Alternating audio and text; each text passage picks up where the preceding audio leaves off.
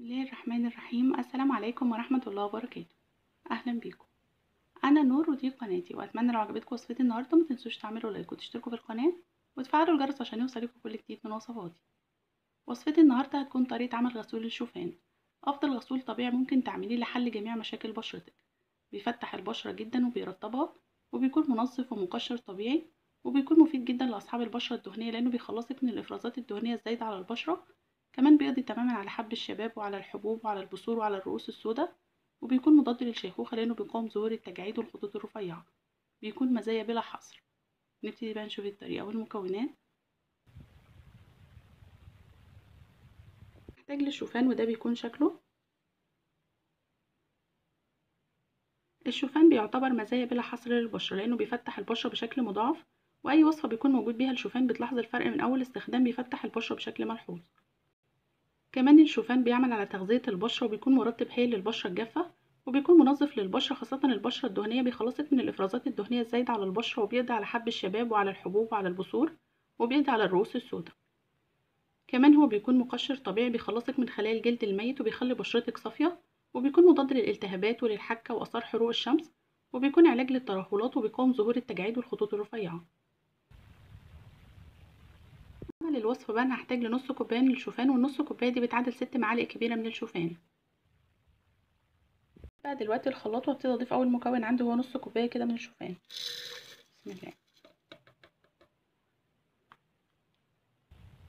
وهحتاج لكوباية من المية العادية ودايما بيكون مقدار المية ضعف مقدار الشوفان. دلوقتي المكون التاني على الشوفان وهي كوباية المية. بقى دلوقتي الشوفان مع المية كويس جدا لغاية ما يبقى خليط ناعم جدا ويبقى زي الحليب. لازم أخلطه كويس جدا. خلطت بقى كده الشوفان مع المية كويس جدا. شايفين بقى شكلها بقت زي الحليب إزاي؟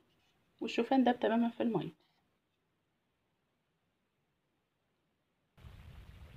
محتاجة بقى دلوقتي إن أنا أصفي الشوفان ده كويس جدا عشان ما يبقاش فيه أي حبيبات أو بواقي من الشوفان. جبت بقى كده مصفى ضيقة وهبتدي بقى أصفيه كده. بسم الله. بقى كده بالمعلقة اصفيه كويس جدا. هكمل بقى الكمية كلها بنفس الطريقة. أنا صفيت بقى كده خلاص كل كمية الشوفان والبواقي دي أنا مش بتخلص منها بتفركي بيها البشرة بتكون مقشر هايل يعني بتستفيدي بيها برضو مش بتتخلصي منها. وده بيكون بقى شكل الشوفان بعد ما صفيته. هاخد بقى دلوقتي الشوفان اللي أنا صفيته ده وهحطه في حمام مية سخنة على النار لغاية ما قوامه يتقل يبقى زي الكريم. حمام الميه السخنة بقى بيكون عبارة عن طبق بحط فيه كمية من الميه وأحط فيه الطبق ده وأرفعهم بقى على النار وأفضل مستمرة في التقليب لغاية ما قوامه يتقل يبقى زي الكريم. أنا رفعت بقى دلوقتي الطبق اللي فيه الشوفان في طبق تاني فيه ميه وهرفعهم بقى دلوقتي على النار وهفضل مستمرة في التقليب لغاية ما قوام الشوفان ده يبتدي يتقل ويبقى زي الكريم.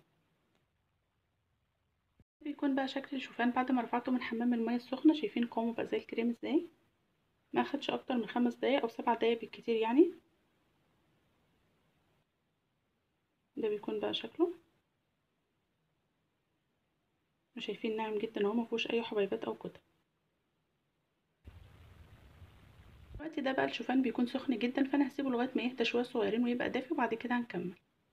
سبت بقى دلوقتي الشوفان لغاية ما بقى دافي هبتدي بقى دلوقتي أضيف عليه باقي المكونات. محتاج لمعلقة من العسل والعسل ده بيعتبر مضاد حيوي طبيعي للبشرة.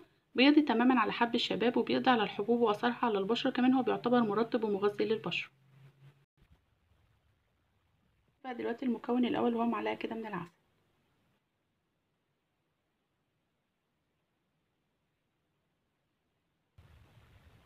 المكون اللي هضيفه بعد كده هتكون معلقة صغيرة من زيت اللوز الحلو.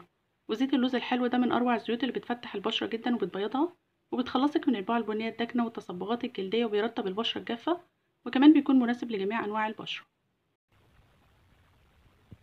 بقى دلوقتي المكون التاني هو معلقة كده من زيت اللوز الحلو. تقدري كمان لو متوفر عندك زيت جوز الهند تقدري تستخدميه برضو بدل زيت اللوز الحلو. المكون بقى اللي هضيفه بعد كده هتكون معلقة كبيرة من ماء الورد وماء الورد بيفتح البشرة جدا وكمان بيرطبها وبيعالج التهابات الجلد وكمان بيقضي تماما على حب الشباب بقى دلوقتي معلقة كبيرة من ماء الورد. المكون بقى اللي هضيفه دلوقتي هتكون معلقة كبيرة من غسول البشرة العادي اللي انت بتستخدميه. ولو مش متوفر عندك غسول البشرة ده ممكن تجيبي بقى صابونة دوف أو أي صابونة تكون طبيعية المهم إنها تكون صابونة طبيعية وتبشري منها معلقة كبيرة. وبعد كده تضيفي عليها معلقتين أو ثلاث معالق من المية المغلية وتفضلي تدوبيها كويس جدا لغاية ما تبقى زي الكريم. وبعد كده هتضيفيها على الغسول ودي هتكون البديل. بقى دلوقتي معلقة كبيرة كده من غسول البشرة.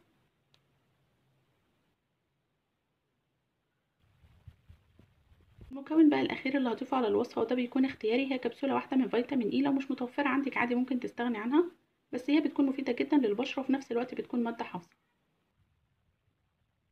باخد كبسولة واحدة بس بالشكل ده وبفتحها بقى بمقص أو بدبوس وبعد كده بضيفها على الغسول.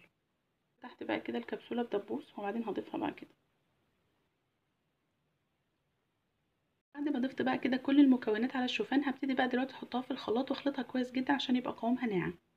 أنا خلطت بقى كده كل المكونات للمرة التانية في الخلاط وده بيكون شكلها. شايفين لونها فتح وبقى قوامها ناعم جدا ومفيهاش أي حبيبات أو كتل. بقت نفس قوام الغسول الجاهز. نتيجتها حلوة جدا. ممكن نشوف بقى دلوقتي قوام الغسول كمان بعد ما خلطته للمرة التانية وأنا بضيفه في الطبق. شايفين بقى شكله.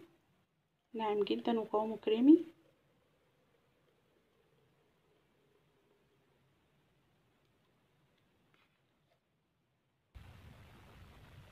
ده بيكون بقى الشكل النهائي للغسول شايفين بقى قوامه؟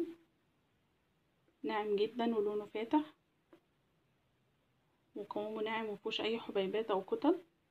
وكمان فيه رغوة بسيطة جدا لأن لازم الغسول يبقى فيه رغوة بسيطة ما تكونش رغوة عالية لأن دي بتضر البشرة جدا. هجيب بقى دلوقتي علبة أنا غسلتها كويس جدا ونشفتها وهبتدي بقى دلوقتي أضيف فيها الغسول. والعلبة بالشكل ده هتكون مناسبة جدا للاستخدام. أنا بضيفه بقى في العلبة بالشكل ده.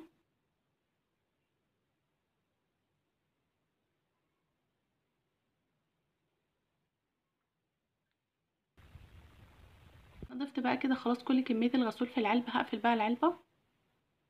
وده بيكون بقى الشكل النهائي للغسول.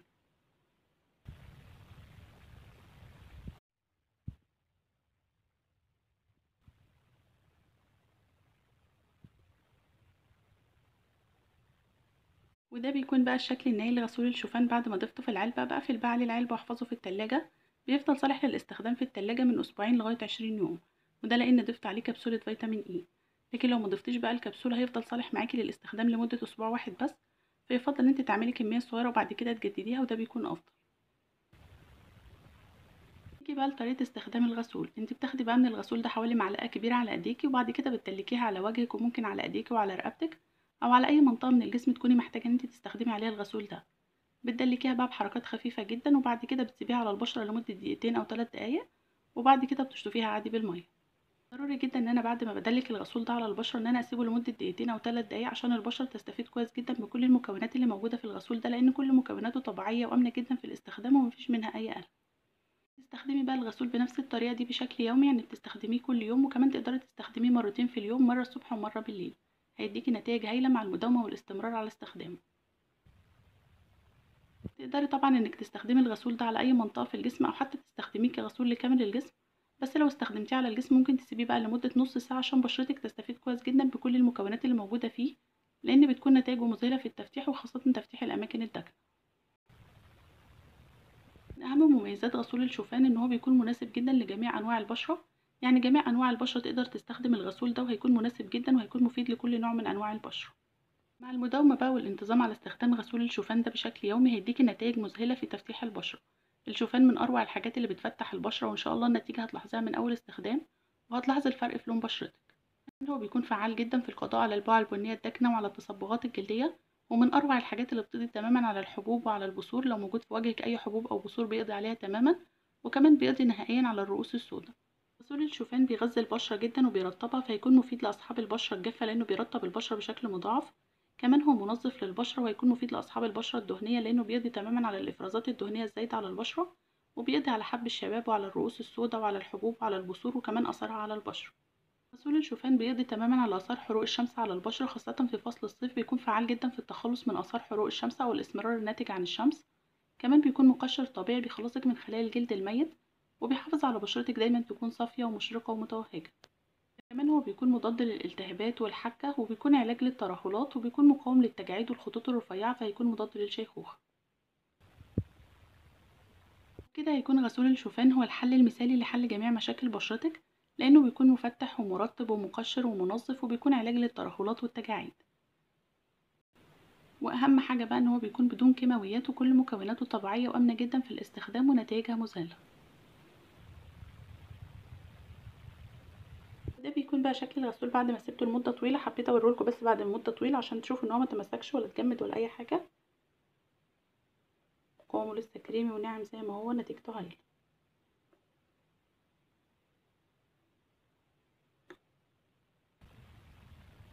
نشوف بقى دلوقتي شكله. شايفين قوامه. كريمي وناعم جدا.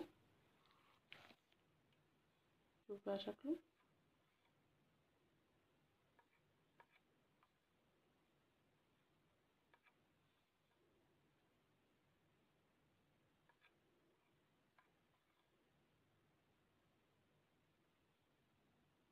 وأتمنى طبعا إن تكون وصفتي النهارده عجبتكم. لو عجبتكم متنسوش تعملوا لايك وتشتركوا في القناة وتفعلوا الجرس عشان يوصلكوا كل جديد من وصفاتي.